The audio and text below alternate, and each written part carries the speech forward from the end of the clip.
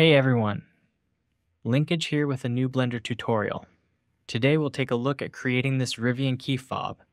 We'll build the model, add the logo, and create some basic materials. So, let's jump into Blender. Before we dive in, let me quickly show you how to add the gizmo to your scene, as I'll be using it throughout this tutorial. Head over to your viewport options, then under Object Gizmo, select Move and Scale. Now, you'll see the gizmo added to your scene, and you can use the arrows to move and scale different elements of the mesh. In a new scene in Blender, let's start by adding a cube with Shift A. Go to your top view and hit Tab to go into edit mode. Add a loop cut along the y-axis with Ctrl R, then right-click to drop the tool. Select these outer vertices and press X to delete them. Make sure you have X-ray mode on by pressing Alt-Z so that you can select through the object. Next, go to your Modifiers tab and add a Mirror modifier. Make sure the axis is set to X, and then turn clipping on.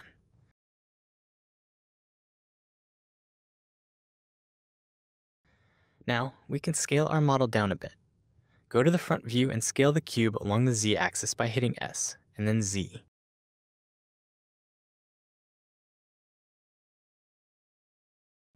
Then, in the top view, bring the sides in to give it a rectangular shape.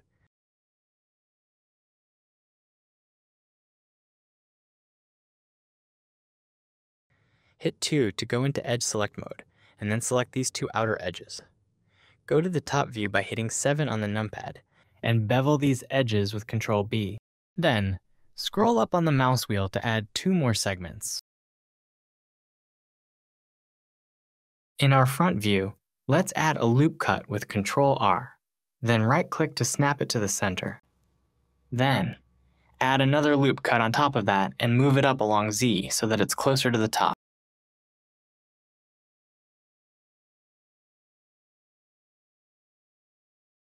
Select the top edge while holding Alt to select the loop. Then, in the top view, scale the edge in a bit. You can hold Shift-Z to scale only along the X and Y. Bring the edge in a bit by scaling along the X-axis by hitting S, then X. Line these vertices up by double tapping G to slide vertices along an edge.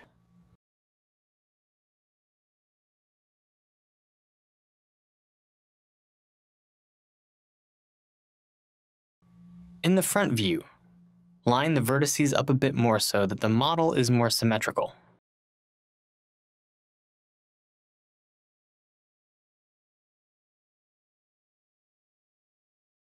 Let's delete the bottom edge loop by selecting it, pressing X, and then selecting vertices.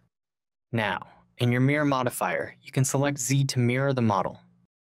In the top view, Alt-select this edge loop, then hit 3 to go to face selection and press I to inset the face. Bring the face in a bit. Then select this middle face and press X to delete it. Hit 1 to go to vertex mode. Select these two vertices and move them to the middle. Select this edge loop, scale it down a bit, and move it along X to align it with the outer edges.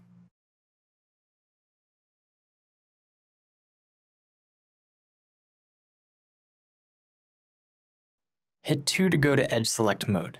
Then, select these two edge loops by pressing Alt-Shift. Hit N to bring up your item's menu, and set the mean bevel weight to 1. In your Modifiers tab, add a Subdivision Surface modifier, and set the levels to 3. Now, add a bevel modifier and drag the bevel modifier above the subdivision surface. Set your limit method to weight, change your segments to 3, and set the amount to 0.01. Hit Tab to go to Object Mode. Right-click, and select Shade Smooth. Go back into Edit Mode and select this inner edge loop. Then, in the front view, move the edge loop down along Z to give the interface a crowned surface.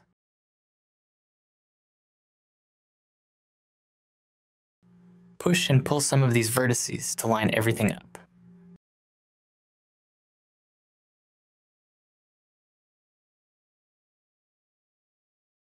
Let's go into edit mode by pressing tab. We'll be creating the metal loop of the fob, so select this center edge loop, press Shift D to duplicate it, and then right click. With the edge loop still selected, press P and choose selection. Press Tab to go to object mode and rename your parts. Select the curve and press Tab to go back into edit mode. Add a vertex in the middle with Ctrl R. Then, select these bottom vertices and move them down along Y. In object mode, select the fob and press Tab to go into edit mode. Add a loop cut so that it matches the curve we just created. Back in object mode, select the curve and press Shift D to duplicate it. We're going to convert this edge into a curve, but we want to have a backup just in case. Hide the backup curve in your collection, then select the curve and apply all the modifiers. Go up to the Objects menu, and under Convert, convert the edge into a curve. You can hide the fob in the collection tree so that we can see the curve more clearly. Press Shift A, and under Mesh, select Circle. Go into edit mode with tab and scale the circle down by pressing S. Marquee select around these outer five vertices and press X to delete them. Select the remaining vertices at the end and press F to fill them with an edge.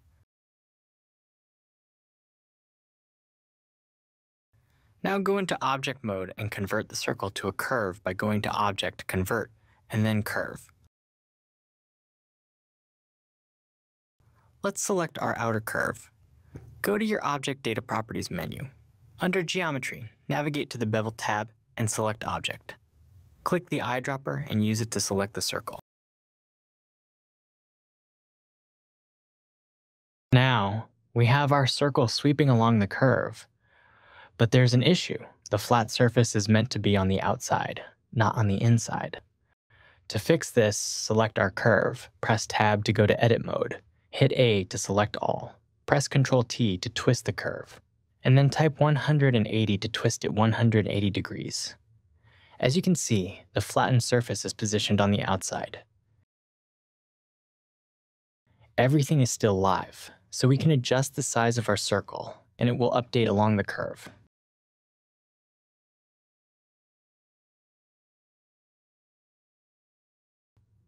Adjust the proportions of the curve a bit to get a shape that you like.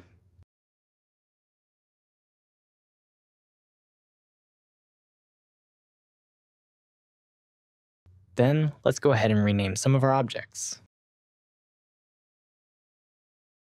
Now, we want to create a cutout on the fob so that the metal loop can nest within it. First, let's duplicate both the curve and the circle by pressing Shift D and then right-clicking.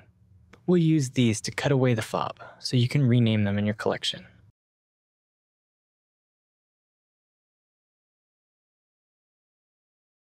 Hide everything in the scene except for the two circles. With the new circle selected, scale it up a bit by pressing S.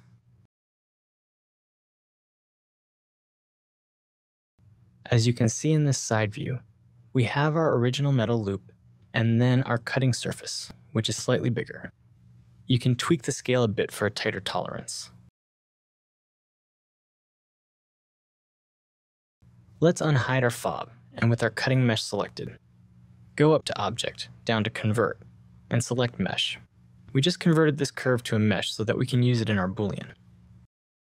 Select the fob, go to your Modifiers tab, and add a Boolean modifier. Make sure the Boolean is set to difference and use the eyedropper to select the cutting surface. You can see we have the cutout on our fob, but there are some shading issues. To fix this, go to your modifiers, down to normals, and add a smooth by angle modifier.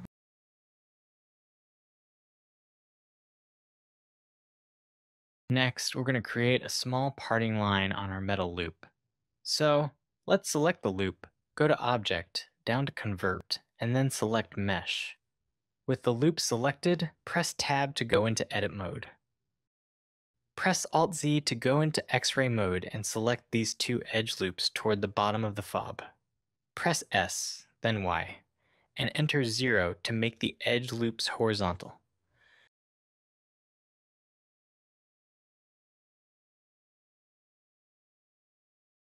Press Ctrl B to create a bevel and scroll down on the mouse wheel so that there are no segments. We'll create a very small bevel to use as our parting line. Press 3 to go into face select mode, and with the bevel selected, press X and choose faces to delete the segment. Press 2 to go to edge select mode. Marquee select over these two edge loops, and press E, then S, to scale the extrusion.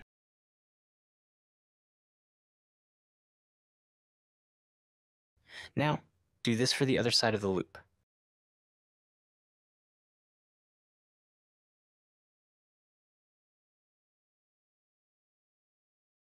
Hover over the bottom portion of the loop and press L to select linked.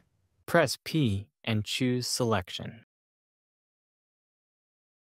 Hide the bottom portion of the loop with H, select the top portion, and press Tab to go into edit mode. Alt-select this edge loop and press F to fill it with a face. Do the same thing for the other side.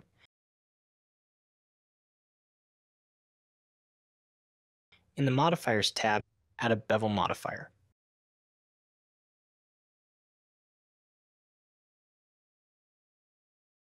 Set the segments to 3 and the amount to 0.002.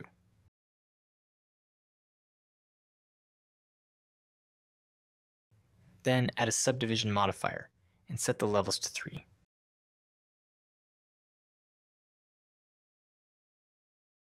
We'll do the same thing for the bottom portion. Press Tab to go into edit mode. Select this edge loop with Alt and press F to fill it with a face. Do the same thing for the other side.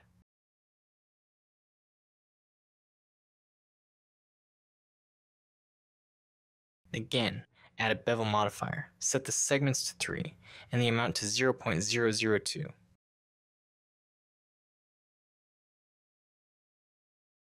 Then, add a subdivision modifier and set the levels to 3.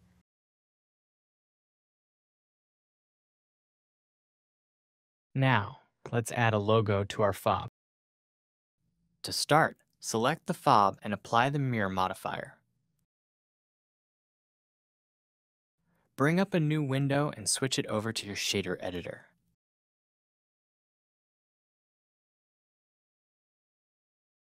In your viewport, switch to preview mode.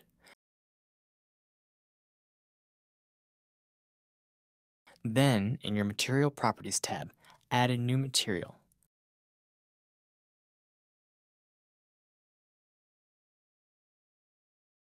Change the color to black and increase the roughness.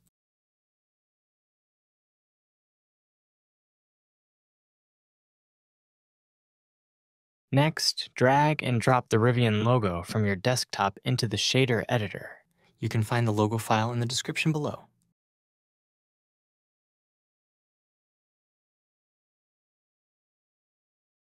In the shader editor, press Shift-A and add a bump node. Connect the color of the image to the height input of the bump node, and connect the normal output of the bump node to the normal input of the principled BSDF.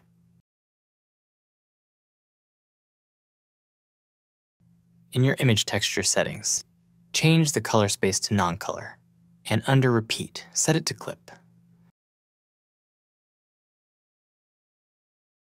With the image texture selected, press Ctrl T to add a texture coordinate node.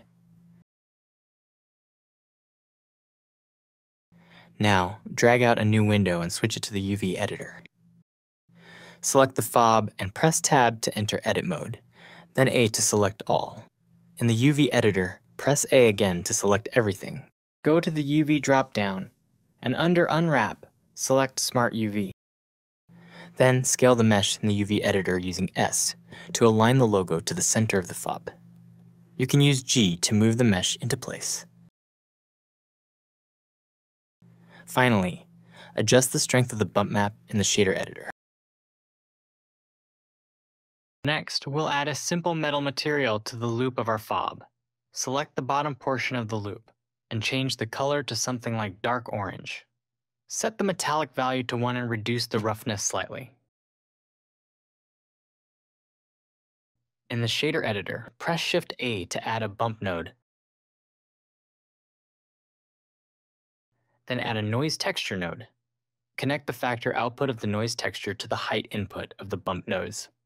And connect the normal output of the bump node to the normal input of the principled BSDF. With the noise texture selected, press Ctrl T to add a texture coordinate node. Set the scale to around 100 and then adjust the detail and roughness values to your liking. You can also reduce the strength of the bump node. In the mapping node, you can further adjust the scale. Select the x-axis, then move your cursor over the y and z values while left-clicking to scale all three axes uniformly. Now, select the top portion of the loop. Set the material to metal we just created, then press the new material button to duplicate it. Rename it to silver and change the color to gray. Alright guys, that's it for this tutorial. I hope you enjoyed it and learned some new tools. We'll see you in the next one.